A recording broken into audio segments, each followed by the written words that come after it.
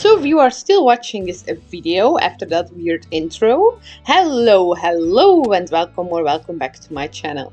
My name is Julie and in today's sewing vlog I'm going to make my Halloween outfits. So I started by making the orange dress and I'm going to cut the skirt, what will be half a circle skirt out of this piece of white fabric. But I first had a mandatory hugging session with my dog because I was on the floor and normally when I sit on the floor I'm hugging. So she was a bit confused. So then I cut half a circle skirt out of this white fabric. This is an old tablecloth that actually has quite a few stains on it. I was planning on throwing it away until this idea suddenly popped into my head.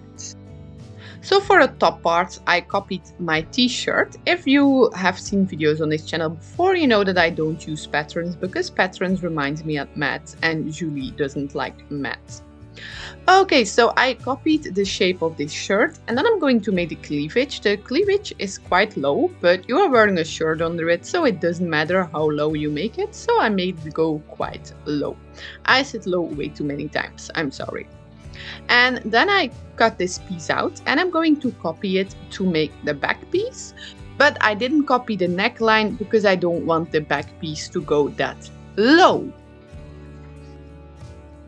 Okay, so now these pieces are white and I need them to be orange. So I'm going to use this pot full of magic powder to turn them orange. Just a little content warning, I turned this into a real mess.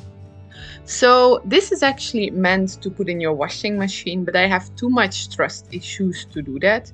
So I'm going to use this pot to dye it by hand.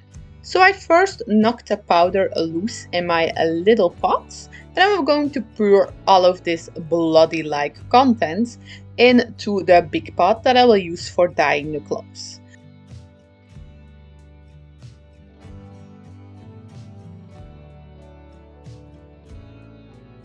After this, I put the clothes damp into this and then I started to whisk it around because the package told me to do that. Well, not this package. This package told me to put this in my washing machine, but another package for a hand dye told me to do that. So I did that. And then I realized that it started to look a little eerie. It made me feel like I was cleaning up a murder. Also didn't help that I was listening to a true crime podcast at the time. And then I realized that I spilled a lot on my floor and then I started cleaning up my floor. And this really gave me the feeling that I was cleaning up a murder scene. I turned this into a real mess, but the clothes turned orange, so that made me happy. The coloring did what it had to do.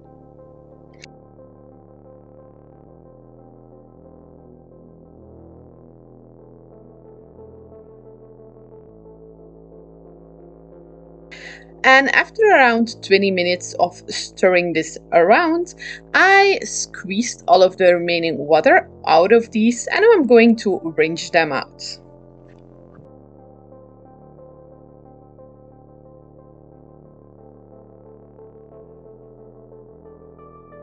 So then I was a little worried because this turned out more red than it was orange, but the rinsing out, I rinsed it out in hot water, it took off a little bit of the color So it all came good at the end. And then I put it into my washing machine for just a normal cycle. And then the dyeing was done. Then I loaded my sewing machine with an orange color and then I set the dress together. I first zigzagged around the edges to prevent them from unraveling.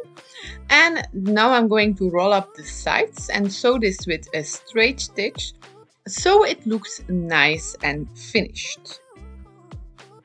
I also copied my front part on my back part to be sure that these straps were as even as possible.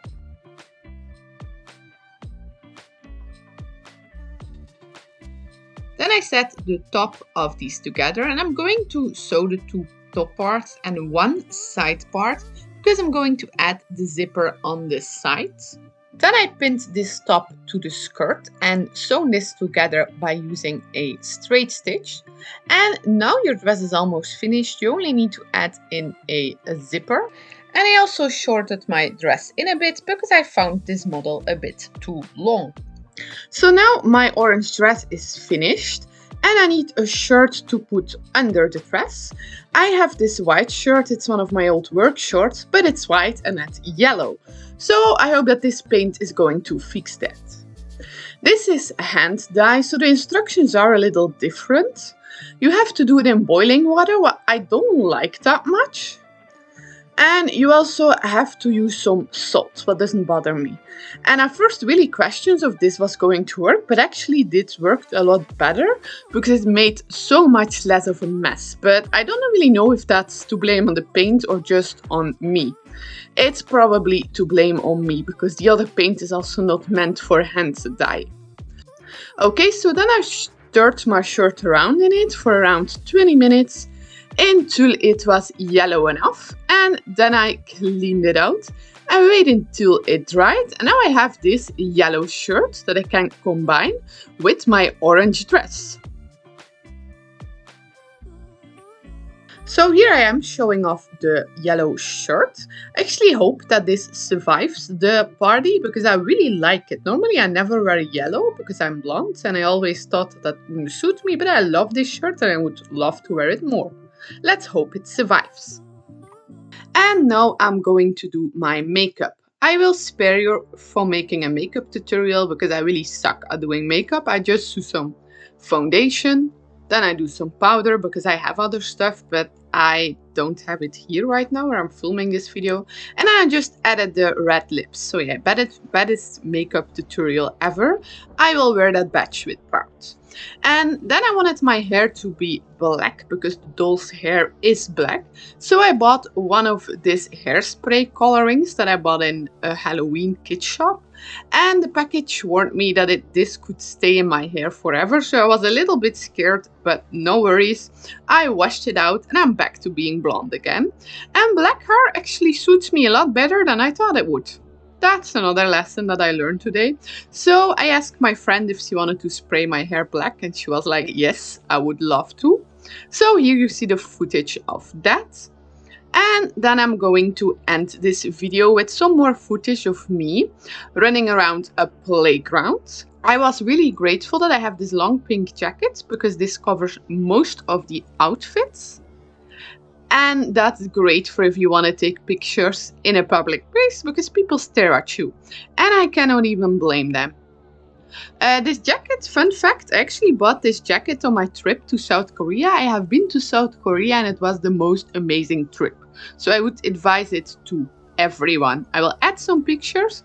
It's the most amazing trip. Thank you for watching. Bye. See you next time.